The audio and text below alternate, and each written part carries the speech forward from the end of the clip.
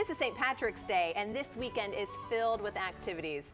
And the Wharf in DC is one of the places that will have a lot of activities going on. So I'm joined this morning by Julie Coletti, who is the Senior Marketing Manager at the Wharf. A busy, busy weekend yeah, absolutely. Yeah, so tomorrow we are celebrating our Ireland at the Wharf Festival.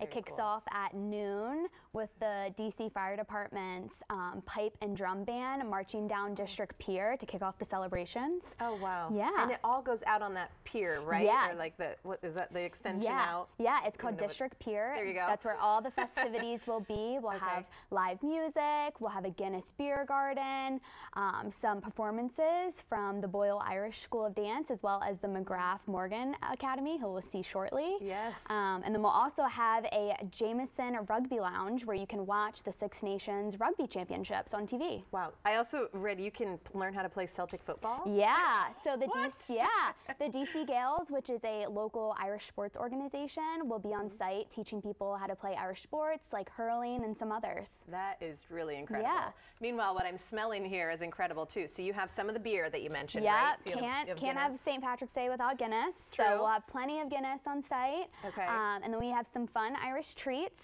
Um, Kilwins beautiful. chocolates and ice cream. We have some chocolate dipped Oreos mm -hmm. with some fun sprinkles. Um, Praline Bakery will also be there. We have mm. some Irish soda bread, um, some chocolate fun. pound cake with some Bailey's glaze. Um, so some fun Irish goodies to snack on during the festival and enjoy or right now. It's really, really Yeah, good. exactly, or right now. And it smelled so good. I yeah. was like, let's start this segment so we can eat. Yeah. This looks like this part would be family friendly. This part I'm questioning. Yeah. Who should come out to the yeah. event? Yeah, so the event is for everyone. We'll have some fun activities for the kids, including some coloring pads for them to get into the spirit, as well as they can learn the sports with DC Gaels.